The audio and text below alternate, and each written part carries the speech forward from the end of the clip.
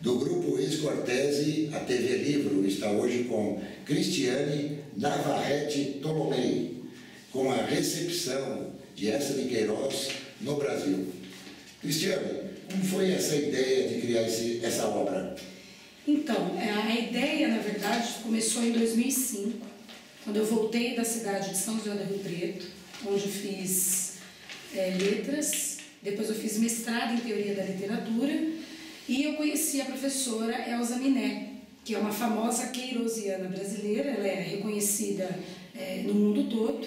E numa conversa que eu tive com ela, num simpósio, de um, encontro né, de professores de literatura portuguesa, ela tinha comentado comigo que o Brasil não tinha ainda um livro, um estudo sobre a crítica sistemática né, das obras e da vida do Essa de Queiroz.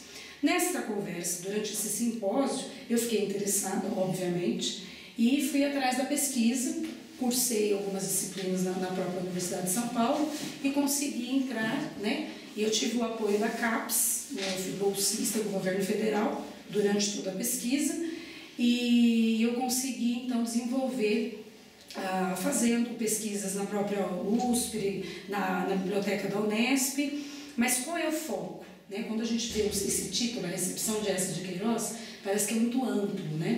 Mas, na verdade, eu e a professora Elza Liné e depois o professor Helder Garmes, também da USP, nós montamos, elaboramos um projeto pensando na, no levantamento dos livros é, sobre essa no, no, Brasil. E é curioso sobre a biografia e sobre a obra dele.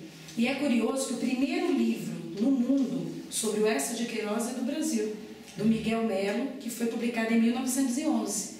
E eu faço também um comentário sobre a crítica do Machado de Assis. Então, Machado de Assis ele escreveu um livro sobre essa de Queiroz, mas ele, ele fez uma crítica sobre o crime do Padre Amaro, sobre o primo Basílio, ah, no Cruzeiro, do Rio de Janeiro, e é curioso que é uma crítica pejorativa, mas que abriu espaço para essa de Queiroz no Brasil.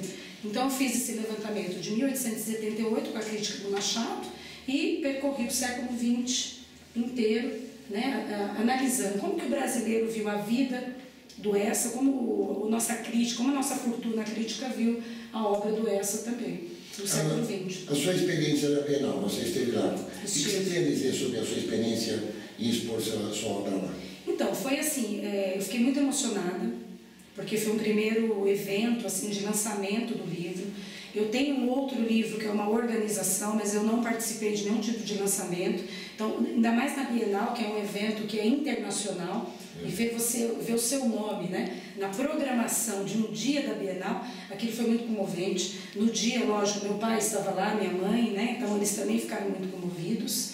E é curioso que neste livro eu coloquei uma nota introdutória. Eu fiz um convite para um aluno meu, que atualmente é aluno do primeiro ano do ensino médio, o Gabriel. E ele é aluno meu de Santos.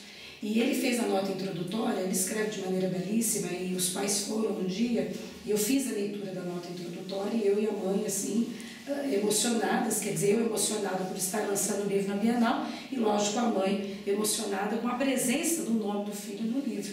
Então você vê a importância e como a partir dessa divulgação da Bienal, muitos alunos perguntando para mim, como é que eu faço para publicar um livro, professora? Como é que eu faço para ser um escritor? E muitos alunos trazendo poemas, é, contos que eles tinham guardadinhos ali na gaveta e apresentando para mim. Então, curioso, quer dizer, é uma satisfação pessoal, mas também como você, quanto né, você influencia, você mexe com a Mas aí a gente adolescência. pode aproveitar o gancho e fazer a mesma pergunta. Qual foi a resposta que você deu e encaminhou esses alunos para que eles possam publicar um livro? Eu falei que não é fácil, não é, não é tão simples fazer uma publicação de um livro, mas que eles tenham lá a persistência, que entrem em contato com as editoras, né, tragam um bom material de boa qualidade, eu prezo por isso, né, e que é o começo, né, que eles são jovens, que eles estão começando, que o Brasil está tendo um espaço gigantesco, a gente viu na Bienal, né, filas e filas eh, entrando, e há um público jovem sedento por leitura. Eu falei para eles, escrevam romances. Os nossos jovens estão lendo o quê? Romances internacionais. Verdade. Então, assim, eles criaram. Então, tem alunos que me apresentaram romances, contos.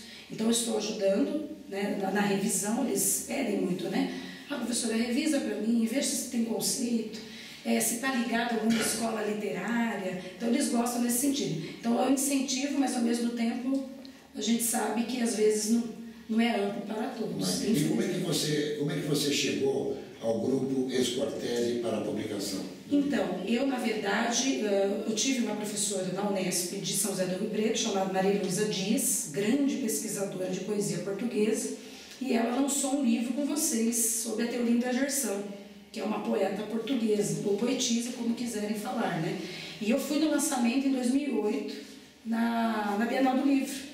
E eu tinha perdido o contato, né? Então ela mandou o convite, fiquei muito emocionada, porque é uma professora é, importantíssima na área, né? E eu fiquei conhecendo a editora por meio dela. Né? Vi que o trabalho foi bom, né, do material, da edição, da possibilidade de publicar um estudo acadêmico, você... que não é fácil, e... É isso, você chegou na Escortese assim. Cheguei, entrei em contato com a Fernanda. Você usa a internet para a divulgação do seu livro? E o que você acha dos meios sociais?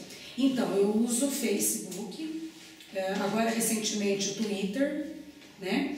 e-mail, né, que eu também divulgo. Eu acho importantíssimo. Se a gente parar para ver os meus convidados que estão aqui, meus alunos que estão aqui, todos pelo Face.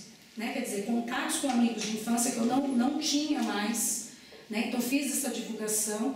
Você reúne amigos, reúne gerações, utilizando o Face, Facebook, Instagram e assim por diante. E qual é o seu próximo projeto? Então, agora eu estou fazendo, realizando um pós-doc é, pela Unesp de Assis. Eu estou sendo orientada pela professora Rosane Gazola, que é uma outra referência também sobre essa de Queiroz no Brasil, e estudando jornais sobre essa de Queiroz e futuramente publicar em formato de livro. Muito bem. Da TV Livro, Grupo Ex-Cortese. Estivemos com Cristiane Navarrete Tolomei com o livro A Recepção de Essa de Queiroz no Brasil. Meu muito obrigado. Obrigada.